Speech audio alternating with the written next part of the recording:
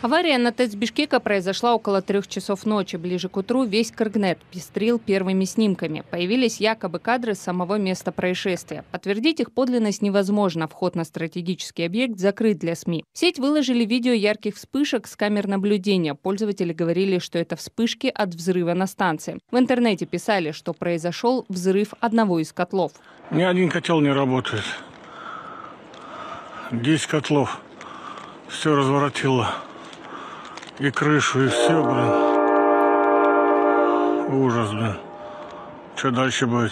Те, кто не следил за новостями, не узнали, а скорее почувствовали произошедшее. В квартирах значительно похолодало. Температура в системе отопления была снижена. Горячую воду в тысячах домов столицы отключили вовсе. В 9 утра чиновники провели экстренную пресс-конференцию и заявили, что именно произошло на ТЭЦ, пока неизвестно. На данный момент э, котел взорвался или не взорвался, или сколько котлов, такого ответа никто не может дать. Выясняются и точные причины произошедшего на ТЭЦ. Объявлена чрезвычайная ситуация, работает комиссия. Рассматриваются две версии. По поручению Камчева Кадршаевича рассматривается версия диверсии возможной, потому что предварительно были несколько хлопков в 3 часа ночи. И, конечно, это техногенную тоже составляющую мы не исключаем.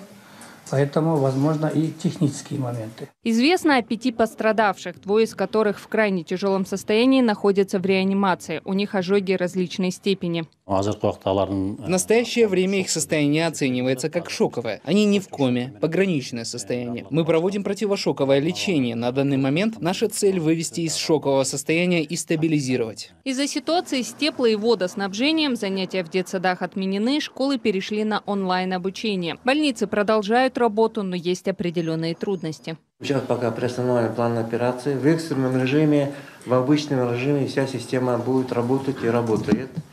А, поликлиники будут работать, амбулаторный прием будет, персонал на полном рабочем месте, все функционирует. Из-за аварии и подтопления цеха были отключены большинство котлов ТЭЦ. Четыре из них специалисты пообещали вести в работу к вечеру. На восстановление стандартных показателей системы может уйти до 7 дней. К двум часам дня на теплоэлектроцентрале побывало практически все руководство страны. Мэр Бишкека, глава МЧС, министр энергетики, зампред и глава Кабмина, лично президент Джапаров.